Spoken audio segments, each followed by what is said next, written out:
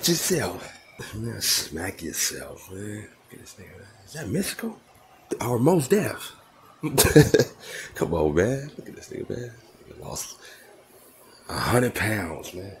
And don't say you working out either, man. You skin and bones, man. You just make a boat, man.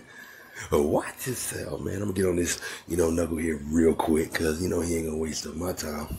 But I've been meaning to get on this dude. Um, you are, you know, becoming like the rap Trey Songz, huh? You want to take the poo poo. You want to beat up females. You want to do all that weird stuff, huh? So uh, he be coming up the court next. You know, they got him on a document. This nigga's just, man, come on, man. That mean? No means no. Watch yourself. Oh, man. Crazy and deranged, man.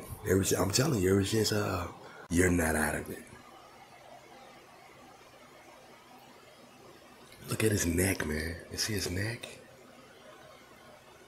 That's nasty, man. They scared of niggas like me. Oh, man. Oh, man.